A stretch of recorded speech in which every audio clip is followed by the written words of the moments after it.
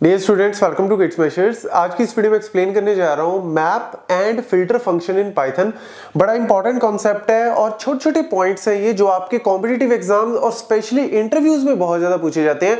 तो मैं आपको विद एग्ज़ाम्पल विद एग्जीक्यूशन सारी कहानी बताता हूँ कि मैप फ़ंक्शन क्या होता है, कैसे वर्क करता है फ़िल्टर क्या होता है, कैसे वर्क करता है। तो सबसे पहले अपन मैप से स्टार्ट करते हैं। मैप का बेसिकली फंडा है गूगल मैप वाला मैप मत लेना।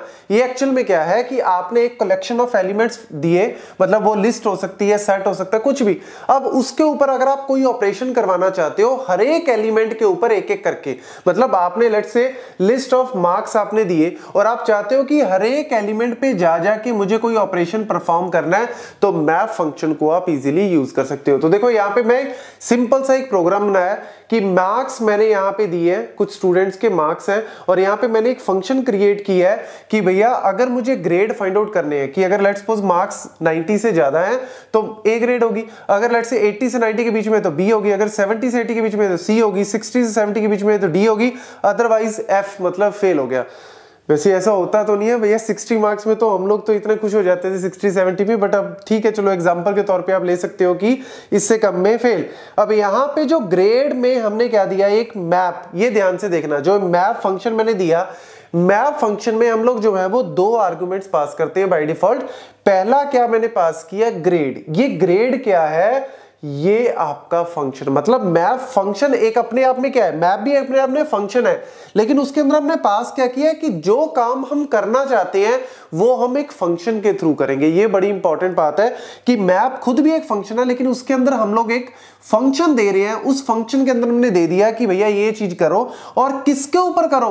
वो मार्क्स आप कह सकते हो, एक तरह से आइट्रेटर हमने यहाँ पे अप्लाई कर दिया कि ये मार्क्स के ऊपर ये ग्रेड वाला जो फ़ंक्शन है अप्लाई करो और एक एक करके हर एक के ऊपर अप्लाई होगा। ये याद रखना एक एक करके it is iterator kind of generator की तरह वर्क करता है एक एक करके एलिमेंट पे जाता है।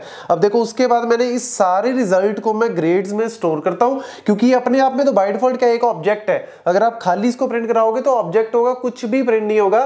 तो यहाँ पे मैंने ग्रेड्स के अंदर आउटपुट डाल दी और ग्रेड्स को मैं क्या कर रहा हूँ प्रिंट कर रहा हूँ। अब अकेला ग्रेड्स अगर प्रिंट करते हो, तब भी कुछ नहीं होगा। क्यों?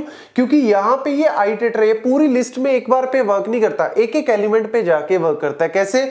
जैसे यहाँ पे नेक्स्ट अगर आप करते हो यहाँ पे तो नेक्स्ट के केस में, जैसे ही मैंने यहाँ पे नेक्स्ट किया तो ये क्या करेगा? आउटपुट में मेरे को एक आंसर दिया। क्या दिया? ध्यान से देखो।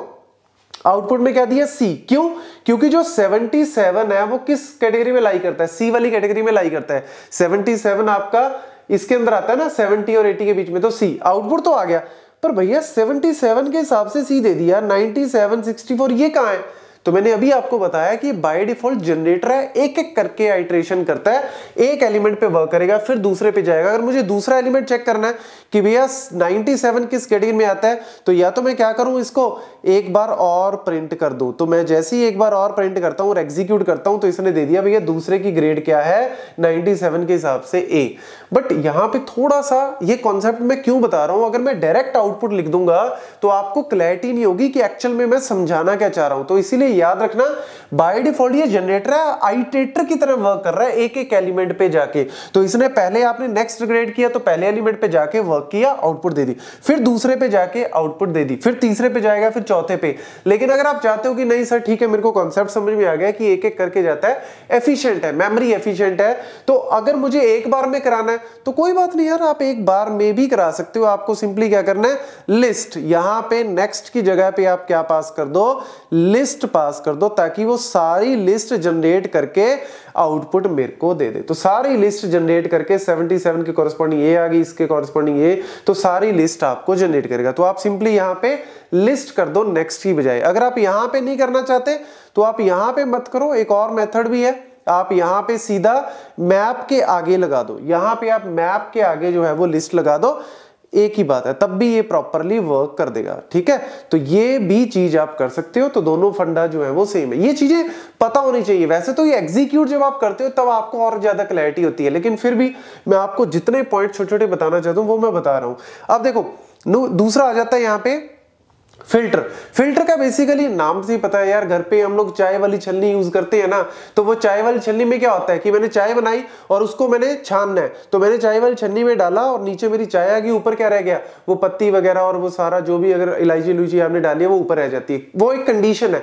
क्या कंडीशन दी कि चाय की जो छलनी है, उसकी जो जाली है ना, उसके अंदर कितना गैप है? अगर कोई भी चीज़ उस गैप से ज़्यादा बड़ी है तो वो ऊपर आ जाएगी गैप से छोटी है तो वो नीचे चली जाएगी। यही कंडीशन यहाँ पे अप्लाई कर रहे हैं। जैसे डेटाबेस में सीक्वल के अंदर वेयर क्लॉज करते हैं ना तो वेयर क्या है? कंडीशन होती है। वही चीज़ हम यहाँ पे फ़िल्टर के थ्रू कर रहे हैं। तो मैंने मार्क्स दिए। यहाँ पे मैंने क्या दे दिया कि अगर मार्क्स सिक्सटी से कम है तो वो क्या करेगा? आउटपुट में आ जाएगा कि भैया ये फेल है। तो इस तरीके से अगर आप कुछ भी करना चाहते हो तो अप्लाई कर सकते हो। लेकिन फ़िल्टर क्या है? मैप जो है वो हर एक वैल्यू पे जा जा के अप्लाई होता है। लेकिन फ़िल्टर क्या है? एक तरह से फ़िल्टर आउट करता है चीज़ें।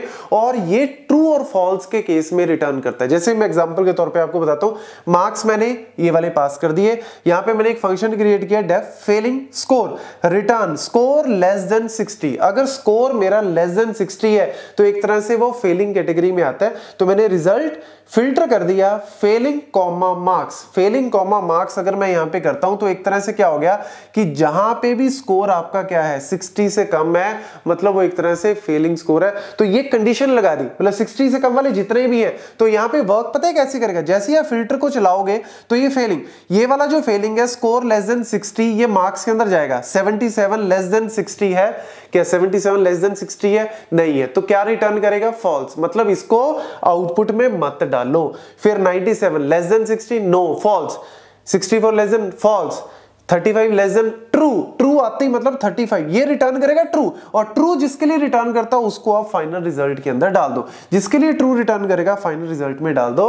तो ये बेसिक सा फंडा है कि भैया, ये आपका एक तरह से फ़िल्टर आउट करता है चीज़ें। और ये भी काम मैप की तरह ही है कि एक एक वैल्यू पे जा जा के करता है। अगर आप लिस्ट नहीं लिखोगे यहाँ पे लिस्ट नहीं लिखोगे तो आपको फिर नेक्स्ट नेक्स्ट करके आउटपुट लेनी पड़ेगी। लेकिन लिस्ट लिख दोगे तो एक बार में आउटपुट आपकी सारी आ जाएगी। तो इनके बेसिक नेचर में फ़र्क है।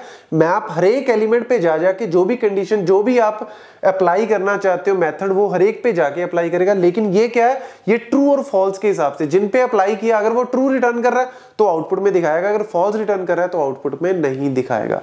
That is map and filter thank you